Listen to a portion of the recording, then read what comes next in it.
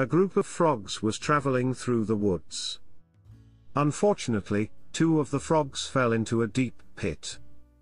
All the other frogs crowded around the pit and realized that the pit is too deep to jump out for the frogs. They really felt bad about the two frogs. They tried to explain to them, how deep it is and it would be impossible for them to get out of there. They also regretted that they could not help them too.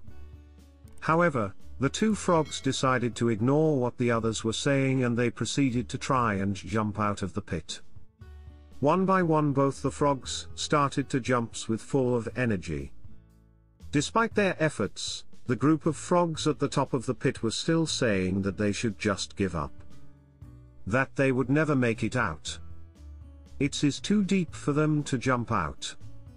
Eventually, one of the frogs took heed to what the others were saying and he gave up, falling down to his death. But the other frog continued to jump as hard as he could. Again, the crowd of frogs yelled at him to stop the pain and just die. Don't hurt yourself, at least die peacefully, suggested one old frog. But, he jumped even harder and harder.